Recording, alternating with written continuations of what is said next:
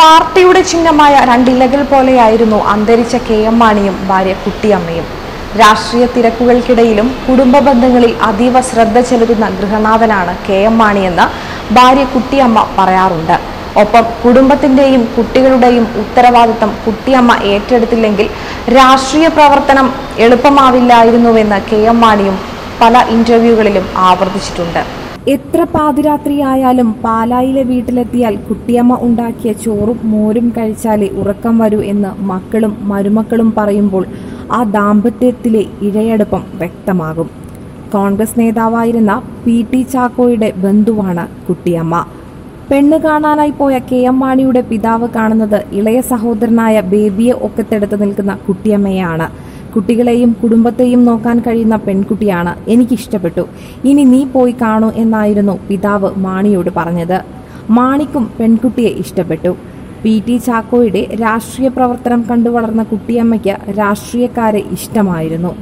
വിവാഹത്തിന് കുട്ടിയമ്മ മൂന്ന് നിബന്ധനകളാണ് വീട്ടുകാരുടെ മുന്നിൽ വെച്ചത്.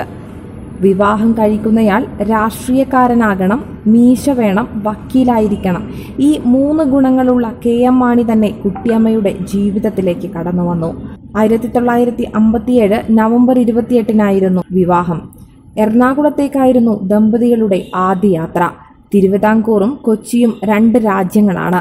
ഇന്ന് ദുബായിലേക്ക് പോകുന്നത് പോലെയാണ് അന്ന് എറണാകുളത്തേക്ക് പോകുന്നത്. ഏറ്റവും ഇഷ്ടമായത് എറണാകുളം ബോട്ട് ജെട്ടിയിൽ നിന്ന് വൈക്കത്തേക്കുള്ള യാത്രയാണ്.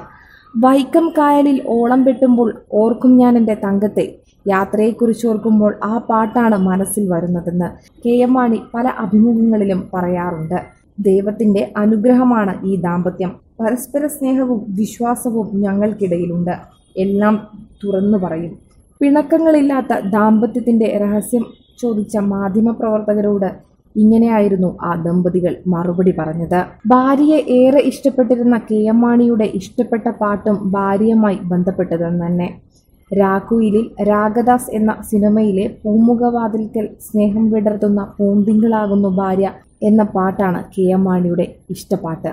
എത്ര തിരക്കുണ്ടെങ്കിലും കുടുംബത്തിലെ ചടങ്ങുകളിലെല്ലാം കെ എം മാണി കൃത്യമായി പങ്കെടുക്കും. പാലായിലെ വീട്ടിലുള്ളപ്പോൾ ചേരുന്ന കുടുംബയോഗത്തിലാണ് കുടുംബകാര്യങ്ങളും രാഷ്ട്രീയവുമെല്ലാം ചർച്ചയായിരുന്നത്. രാഷ്ട്രീയ നിലപാടുകളെ മക്കളും മരുമക്കളും വിമർശിക്കുകയും നിർദ്ദേശങ്ങൾ മുന്നോട്ട് വയ്ക്കുകയും ചെയ്യും.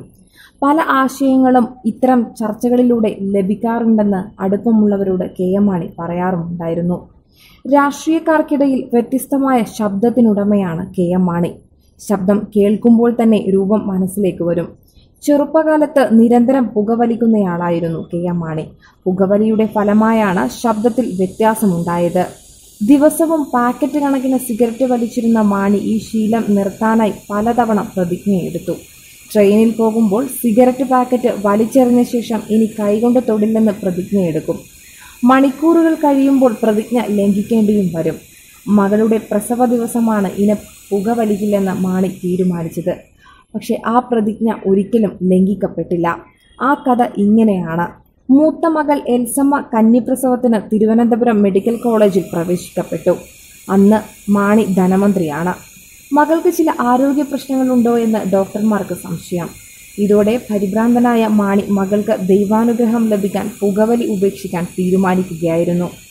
സുഖപ്രസവം നടന്നതോടെ പിന്നീട് ഒരിക്കലും കെ എം മാണി പുകവലിച്ചില്ല. പക്ഷേ പുകവലിയുടെ അനന്തരഫലമായുണ്ടായ ശബ്ദവ്യത്യാസവും പ്രസംഗത്തിലെ ശൈലികളും ട്രേഡ് മാർക്കായി മാറി. വാർത്തകൾ ഉടനടി അറിയാൻ top news Kerala YouTube channel subscribe ചെയ്ത് ബെല്ലൈക്കൺ അമർത്തി ലൈക്ക് ചെയ്ത് ഷെയർ ചെയ്യുക.